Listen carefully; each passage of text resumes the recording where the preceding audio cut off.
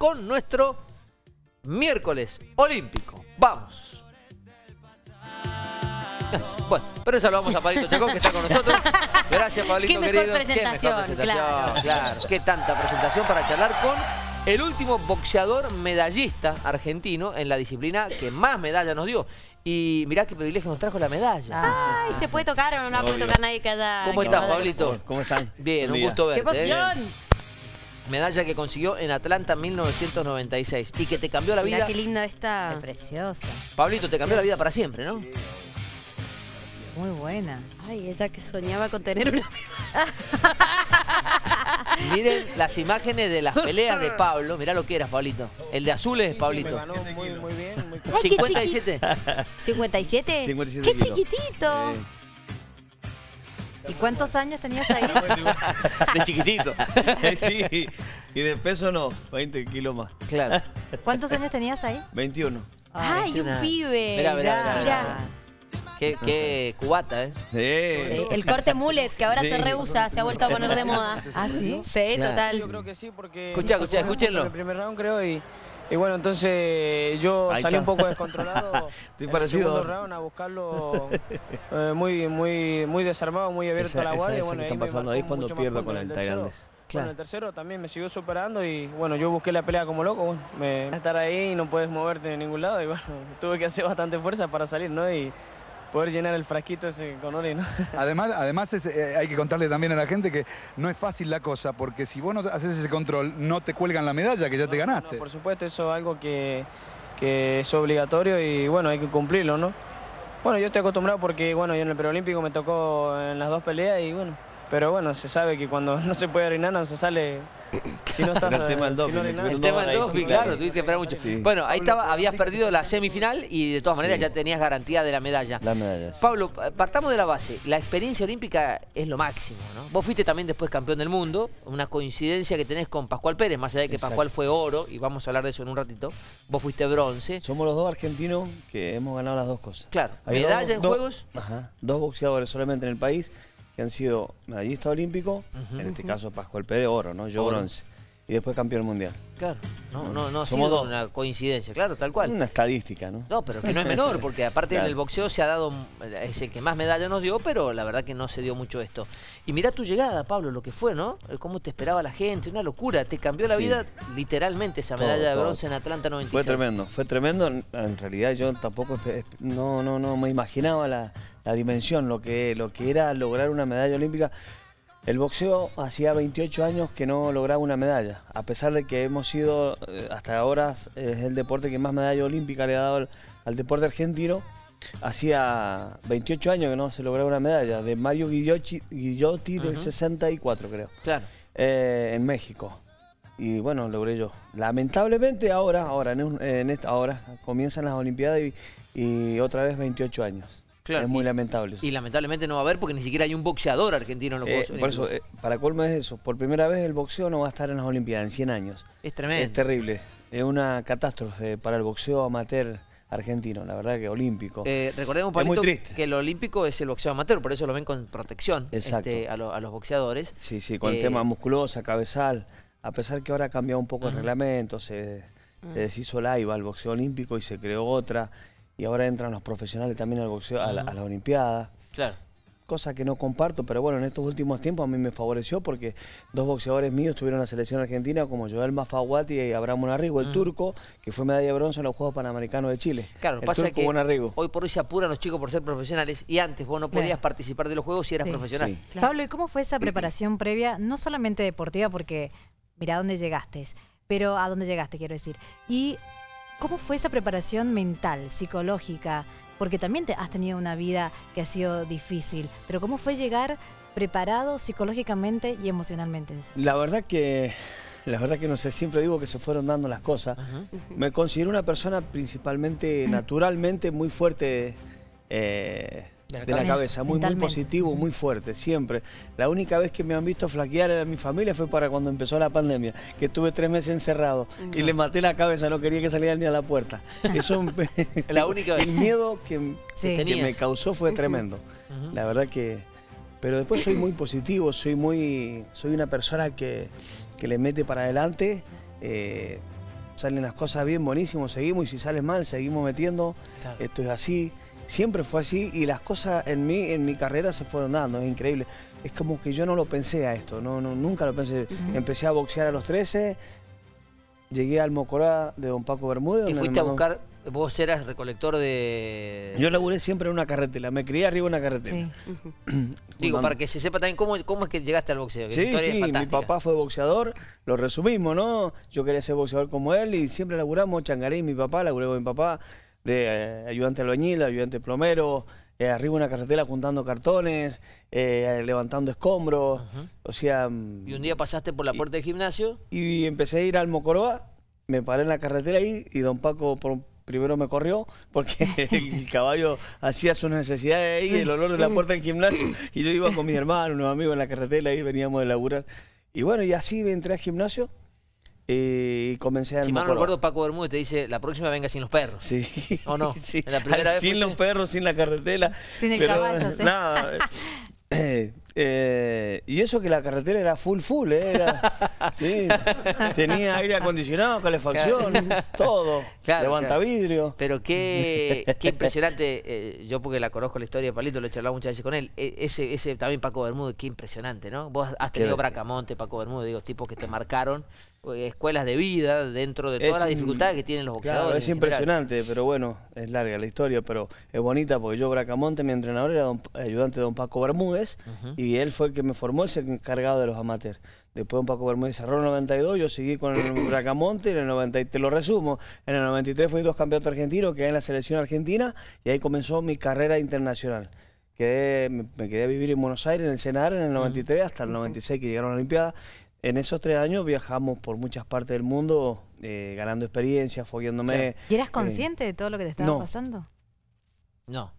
Te llamó Nunca. Maradona, ¿no? Sí, tuve con Maradona, tuve la, la oportunidad. Tuve el privilegio de estar primero en el 95 cuando él entrenaba en el CENAR. Iba dos veces a, Ah, claro. a- a la, a la semana a ver al doctor Lentini. Y el único lugar que entraba era el, al gimnasio de boxeo, en el CENAR. Le encantaba el boxeo. Tengo una foto, tengo eh, un, videíto que hay en esa época cuando fue un el, el ciclista este acá de los 5.000 lotes de la acera, hoy no me voy a acordar ahora, eh, eh, que fue en bicicleta hasta Buenos Aires, llegó y lo filmaron y justo estaba yo ahí. Después, cuando fui campeón mundial que defendí, yo me invitó a la, a la despedida de él. Claro. Eh, fui a la despedida de él y el día, el día jue- eh, día en noviembre del 2001. No sé si vos me contaste, por ahí se me mezclan un poco la historia, que te llama después que obte- obtenés la medalla. O, cuando fuiste campeón del mundo, que te No. sorprende con una llamada. Me sorprendió cuando yo peleé en, en Buenos Aires, yo fui a la despedida de él el día jueves y el día sábado peleaba yo. Mm. Yo había estado el día lunes con él. Por eso hay una filmación que sale él con mi cinturón y yo con la, Claro. el botín de, él, que está filmando Claudia, su esposa, esa filmación. Eh, que apareció hace poco. Eh, yo voy me- al hotel, estaba en el Hotel Hilton él y el día lunes y me dio las entradas para poder ir a la despedida. El jueves fui a la despedida y, y yo subí, a- y el día sábado yo, me dijo que él iba a ir a mi pelea a la FAP. Peleé, subí con la remera a la despedida de él, le dediqué el triunfo y terminó la pelea, no fue. Y me llamó, estaba en el camarín yo, y me llamó el celular y que fuera al, al, al hotel y le llevara los guantes. Claro. Que le llevara los guantes, había peleado. Le, le regalé los guantes autografiados y él me regaló la camiseta de la selección auto dedicada. Qué bárbaro. Pablito, desconozco, y esto te lo pregunto ahora, si los eh, Juegos Olímpicos fueron tu experiencia, tu primera experiencia internacional. También. O sea, habías viajado. No, no, yo había había viajado. hecho- Desde el 93 hasta el 96 Ajá. yo viajé por muchas partes del mundo Ah. con la selección argentina ganando experiencia. Fui a Tailandia, fui a Cuba, fui a muchas partes de Sudamérica. Cuba, mucho boxeo amateur. Claro, ¿no? Muy, muy vinculado. sí, la sí, cuna, fuimos- podríamos decir. Fuimos muchos torneos que, que eso me fueron fogueando para llegar al preolímpico, donde en el preolímpico, en el 96, Ujú. clasifiqué como... Mira, Sam, yo voy viendo las imágenes. Eh, Sí. Esa fotito, si podemos detenernos un chiquitito ahí atrás, porque ¿quién iba a pensar? Que obviamente Pablito es campeón del mundo, para nosotros mucho más, pero que el que tenías al lado se iba a transformar en lo que se transformó. Mayweather. Ahí está. Ahí está. Fuimos los dos medalla de bronce, Floyd Mayweather. sí. Porque los dos ¿quién iba a pensar que después este tipo iba a... Increíble. De hecho, esta fue la última pelea que perdió en su vida, Sí. Ajá. en la semifinal. Don- donde no Mayweather había pierde perdido. igual que Pablo. Donde Claro. no había perdido, lo robaron en, en Estados Unidos. Ujú. Eh, pero porque, bueno, una historia del AIBA y de todo eso, ¿no? Que el vicepresidente era era, era búlgaro y él pierde con Serafín Todorov, el búlgaro, que venía por el triple oro. ¿Y has tenido contacto con el, con, no sé, no sé si con Mayweather, porque después se pasó a ser una estrella impresionante, pero digo, con, no sé, con el búlgaro, con alguno de los, de los otros chicos con el que vos perdiste? No, no, con el único No. estuve en contacto que he estado, hemos charlado por, porque sigue eh, siendo dirigente de la Organización Mundial de Boxeo, Iván Kovacs, al que, yo le gané ganaste el título- título mundial. La semana, hace 10 días estuve en, en Hungría, invitado por él.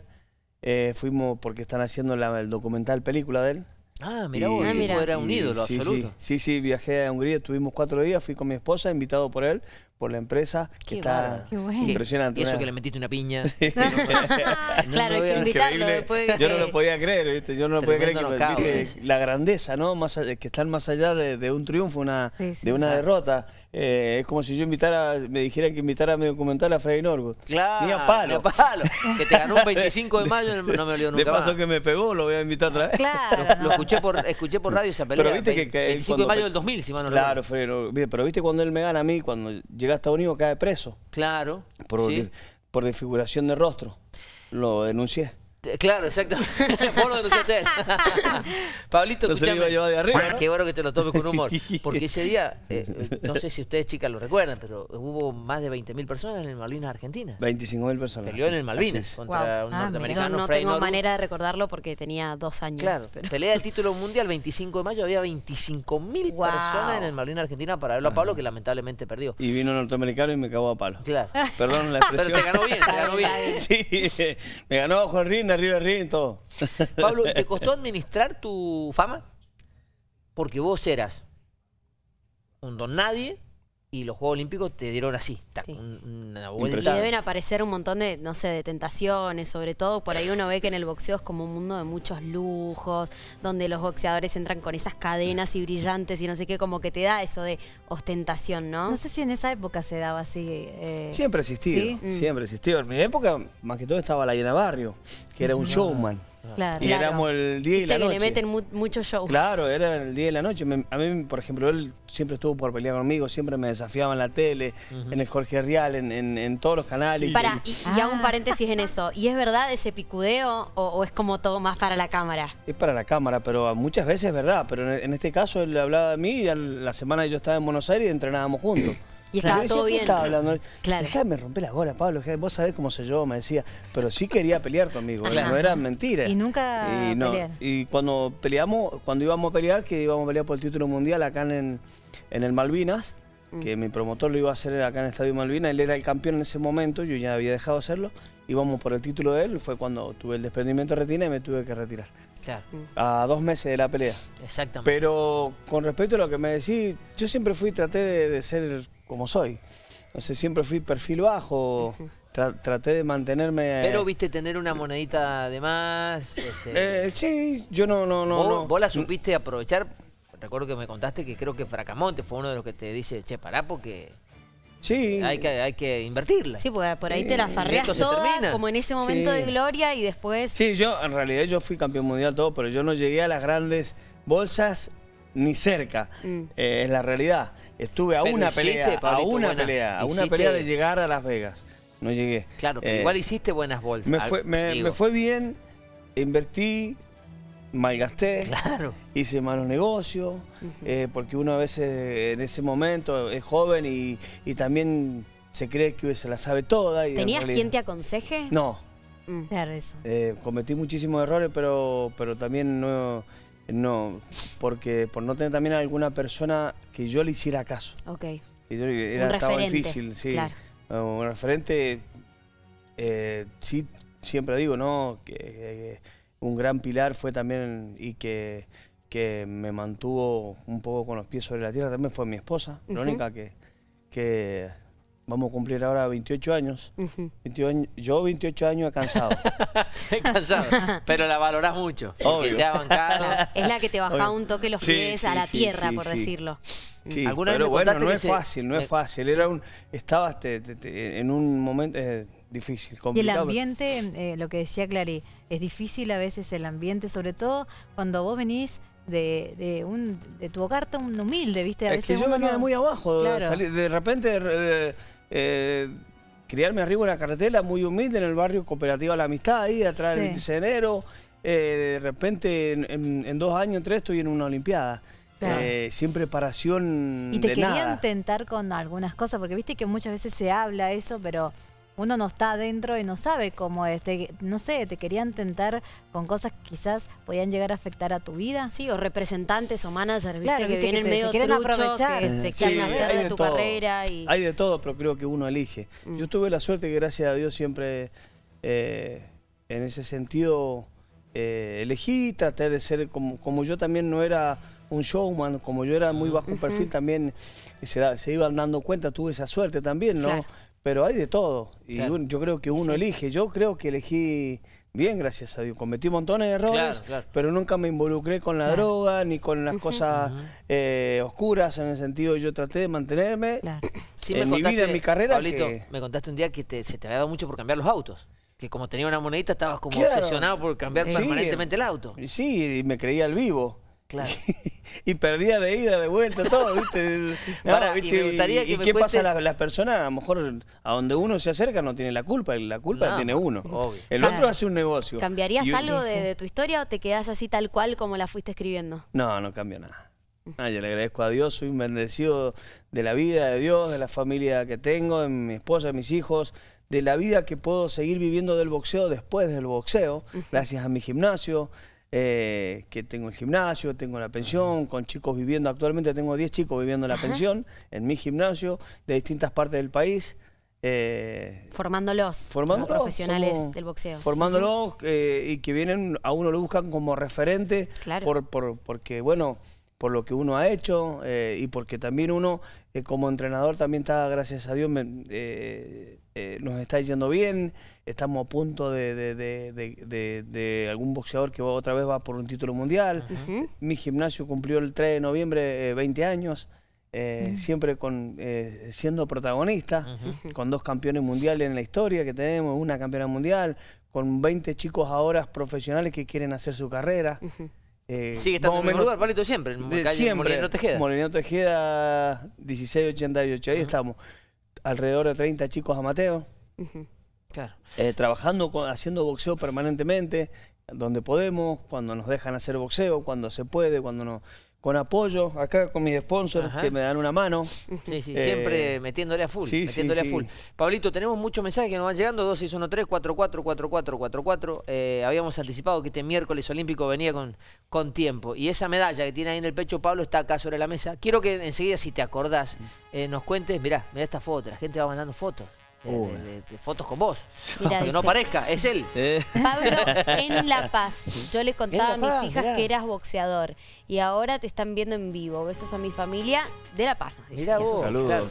Mirá qué linda. Es que salió a recorrer recuerdo. la provincia, el Pablo. La familia Alcaraz ahí en La Paz. Tengo una familia que sabemos ir a, a- que tienen un, un puestito en el, en el campo ahí. Ay, van a, Sí, siempre vamos a ir a, a comer comer chivito, a comer claro. sí, claro, sí. como tiene que ser. Qué emoción, qué lindos recuerdos. Se me corren las lágrimas. Vamos, Pablito, viva Argentina. Saludos, un genio, muy buena persona. En el gimnasio le rompimos la radio y no se enojó. Genio, dice. Che, Pablo, me acuerdo un día me, me contaste una, capaz que no te acordabas, ¿viste? Por ahí tenés tantas anécdotas que a, a uno cuando se las contás nos quedan grabadas, pero por ahí a vos después se te olvida. Que en esa época en donde por ahí viste que las, las luces medio que te encandilan un poco y sentí que te eh, que te hiciste el guapo con un no sé si era un un, un recolector de basura o No, qué era. iba pasando un camión de, la, de un supermercado al- por, de la carne, ¿viste? Esos térmicos. Sí. Y yo estaba parado en un Falcon, en el Falcon de un tío mío, mi tío Sirica, que me lo prestaba año 97, mi esposa embarazada. Vos ya eras Pablo Chacón. Claro, había venido a la Olimpiada Claro. hace un año y, y yo estaba parado en la calle Independencia eh, por comprarle churro al peleo Casanova. Acá trae la cancha Huracán, el peleo Casanova, por comprar, me paro y me paro mal, sí, me paro casi en el medio. Y me tocaba bocina y me insultaron. Me hago a la orilla, y mi esposa de siete meses, seis, siete meses, eh, y, para- y, bueno, me bajo y me insultan y yo los puteo. También le respondo y se para el camión más adelante y se baja uno de cada lado y yo me, me voy para allá, mi señora llorando, no, eh, no, no vaya, por favor. Yo voy con las manos bolsillo diciendo, eh, digo, me va a conocer. Y venía uno de cara así, le digo, amigo, ¿qué pasó? ¿Qué pasó? Pum, pam, pum, me dio. Ah, te revolearon unas No, me dieron unos piñazos. ¡Salí de ahí, maravilla! Una, una- unas patadas, unas piñas, me rompió la ropa, todo. Y cuando logro zafar así, digo, lo voy a matar. Y se vinieron tres, cuatro tipos, no, Pablito, no le pegué. Me había roto la boca, me había roto, me No. tenía un chichón por acá, me O había sea, roto ojo hinchado. Cobré como... No, no fue knockout Cobré a favor como- de los carniceros, Claro, cobré como niñito a la siesta. ¿Se habrán enterado que era vos? ¿Qué ¿no? sé yo? No Ay, para mí re sí, me claro. Se, se subieron, se subieron al camión y se fueron. No me pegaron dos, uno solo. Me agarró, me pum, pam, pum. Porque vos tampoco podés abusar de, Y no. de tu Pero fuerza ni de no tu técnica. tiempo digo. No, yo lo que no me puedo, eh, a, lo mejor agredir a alguien. Claro, porque pero sí tengo- defenderte. Pero me, tengo- me puedo defender. Cuando me quise defender, me agarraron todo. Me decían, no le pegué, no le pegué. Me había roto por todas las... Y me fui de atrás en el palco uno, quería seguir, no me dejaba pasar. Y mi señora llorando, agarré, bueno, ya está, me pegó. Digo. Ese muchacho me, me cagó a palo. Claro, exactamente. Esa, esa sí hubiera perdido. Ese me pegó, ese me pegó. Eh, bueno, Pablito, Pero mira, también me sí, enteré después de ese muchacho que me pegó, después fue eh, al hospital. También. Ah, sí, tenía las manos así. Todo hinchado. Lo tuvieron que enyesar. Eh, Pablito, te quedan, mira, quédate eh, 10 minutitos más si podés y vamos a compartir, porque venimos haciendo todos los miércoles un pequeño repaso histórico. Me parece oportuno, ya que está Pablo, compartir un poco de la historia. Este, y si tenés tiempo, te quedás y lo hacemos después de la pausa. ¿Puede Dale, ser? dale. Una pequeña pausa y compartimos Tengo con que Pablo. enseguida ir a separar la ropa blanca y la de color, pero espero. Pero espera un poquito, Sí, puedes sí. puede mandar un mensajito y esperar un ratito. Ya venimos, pausa, ya volvemos.